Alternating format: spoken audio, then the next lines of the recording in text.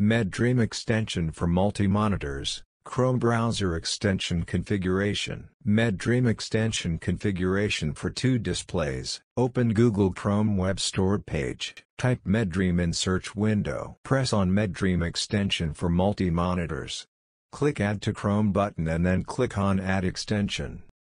MedDream extension was added to Chrome. Extensions icon appeared in the top right corner of the browser. Press on MedDream extension for multi-monitors. Fill URL part to search input with appropriate URL part. In this case, enter URL part of the link, view.html. Select the displays which will be used for extension. Press Save button. The extension for two displays was configured. This is a sample view on two displays. MedDream extension configuration for three displays.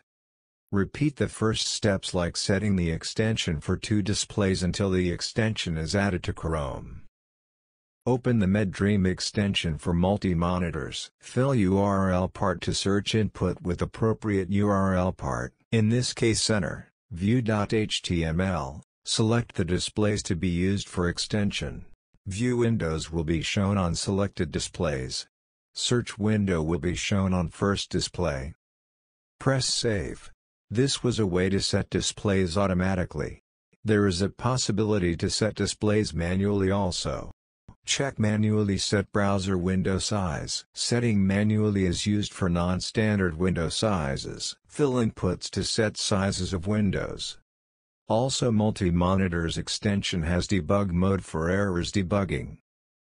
Extension configuration for three displays is finished. This is a sample view on three displays.